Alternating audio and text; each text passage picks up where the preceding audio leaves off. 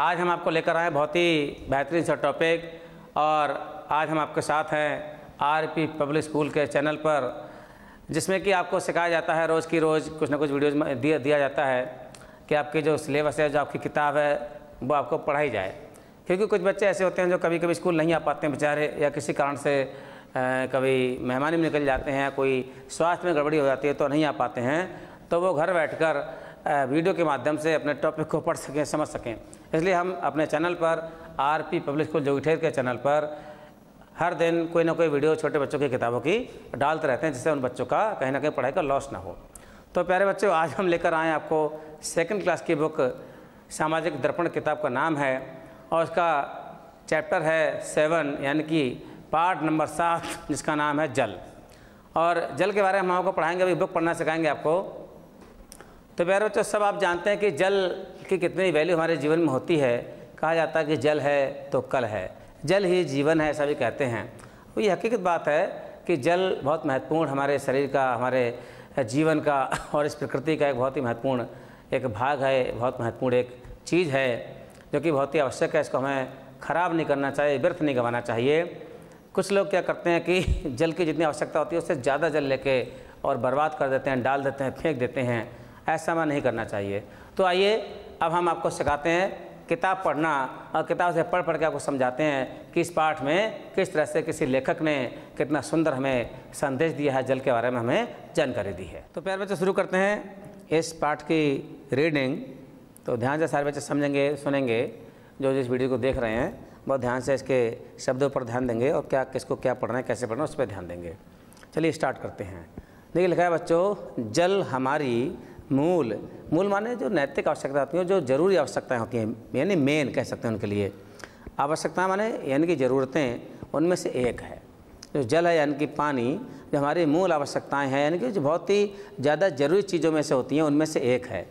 जहाँ जल है, वहीं जीवन है। ऐसा कहा जाता है कि जहाँ जल नहीं, वहाँ जीवन है। जैसा कि आपने अभी सुना होगा कि अभी चंद्रयान थ्री जो है, चंद्रमा पर पहुँच गया है, वहाँ कुछ लोग बताते हैं जल नहीं है, इसलिए वहाँ जीवन नहीं है। तो अब हमारी धरती तो एक जल का ही ग्रह है, जलीय ग्रह भी कहते हैं इसके लिए इसको। हमारी धरती बहुत सारा बहुत सारा जल है, इसलिए यहाँ पर जीवन संभव है। कोई भी प्राणी जल के बिना जी, जीवित नहीं रह सकता।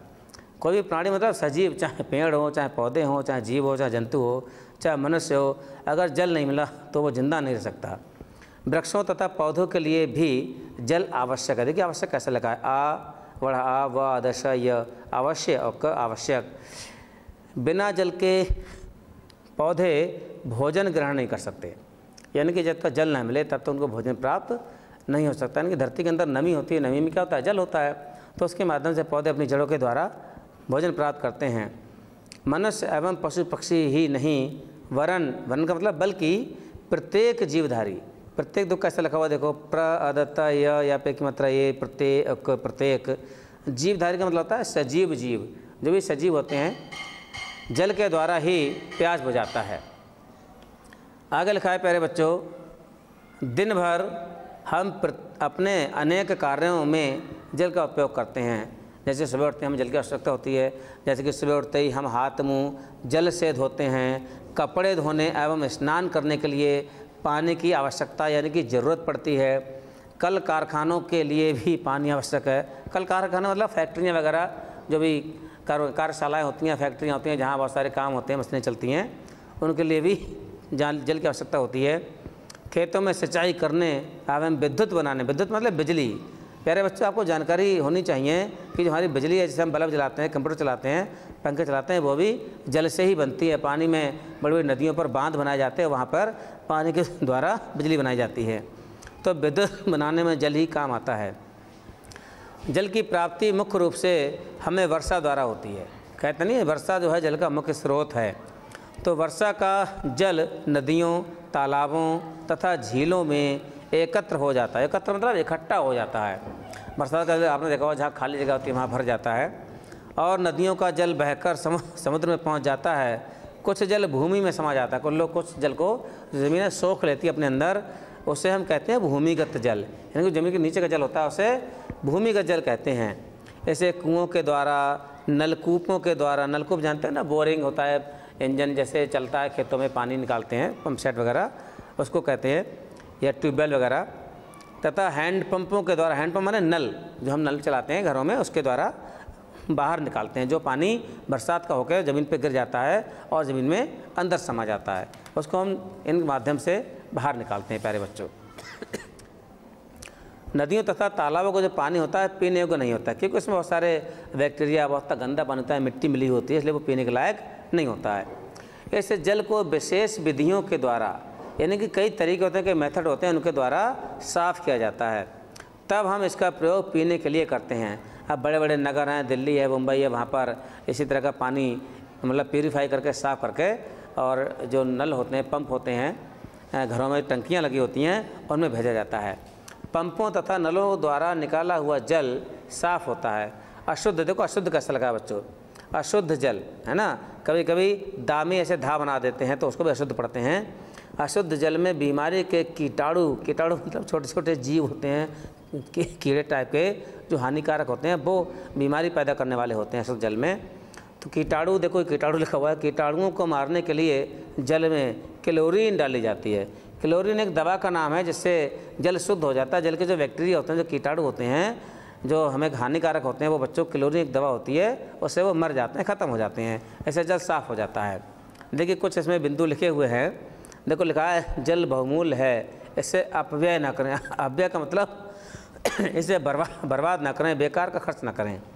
जल को सदैव साफ़ बर्तन में रखना चाहिए। पीने का जल हमेशा जो पानी रखते हैं हम घरों में, साफ़ बर्तन में रखना चाहिए। घड़े में रखेंगे तो बहुत बढ़िया है, क्योंकि घड़ा मिट्टी का जो होता है, वो पानी के अंदर की जो एक अशुद्धियाँ होती हैं, उसको भी अपने अंदर सोख लेता है। जल जीवन है, जल का सदुपयोग, जीवन का सदुपयोग करना है। इसलिए हमें जल का सदुपयोग करना चाहिए, इसका, इसकी बर्बादी नहीं करनी चाहिए बच्चों। आगे देखो, अंत में लिखा है, साफ़ तथा हैंडल वाले बर्तन में जल रखना चाहिए। जल को ढककर रखना चाहिए जिससे उसमें कोई कूड़ा ना पड़े, धूल मिट्टी ना पड़े। जल की एक एक बूंद मूल्यवान है। लिखा है, जल की एक एक बूंद मूल्यवान है, बहुमूल्य है। इसका प्रयोग, देखो बच्चों क्या लिखा कितना बड़ा शब्द है। देखो, तोड़ तोड़ के पढ़ेंगे।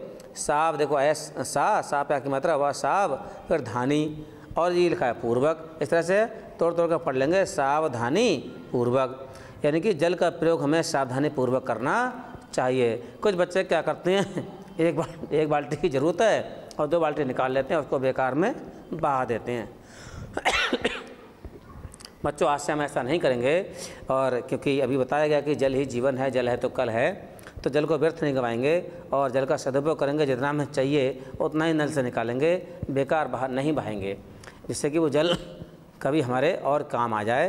इसलिए प्यारे बच्चों, हमें इस पाठ से सीख लेनी चाहिए कि जल को व्यर्थ नहीं गवाएँगे, जल को साफ़ रखेंगे, पीने वाले जल में गंदगी नहीं करेंगे, और भी कहीं का जल भरा हुआ तो उसमें कूड़ा कचरा नहीं डालेंगे।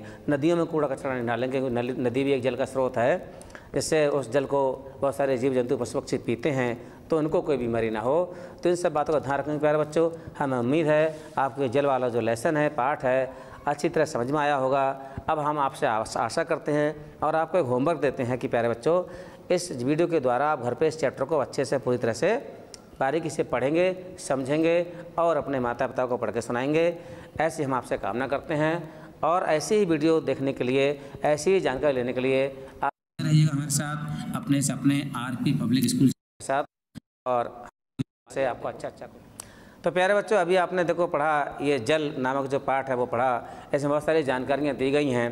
प्यारे बच्चों, हमें अब ध्यान रखना है कि जल को हमें व्यर्थ नहीं गंवाना है और गंदगी को कूड़े, कूड़ा, कचरा, जो गंदगी होती है, वो जल में नहीं डालनी है, नदियों में नहीं डालनी है, क्योंकि नदियों में बहुत सारा जल होता है, बहुत सारे पशु, पक्षी जीव जंतु उस पानी को पीते हैं। उनमें बीमारी ना हो, वो बीमार ना पड़े, उनको कोई रोग ना हो। इसलिए बच्चों, नदियों में हमें कूड़ा कचरा नहीं डालना है कहीं जल कहीं भरा हुआ है, तालाब वगैरह में तो वहाँ भी हमें गंदगी नहीं करनी है।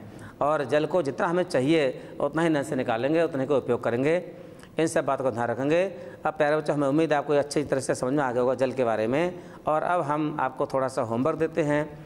सारे बच्चे जो इस वीडियो को देख रहे हैं, जो पढ़ रहे हैं इसके माध्यम से, इस पाठ को ज़ोर ज़ोर से बोल बोल के पढ़ेंगे।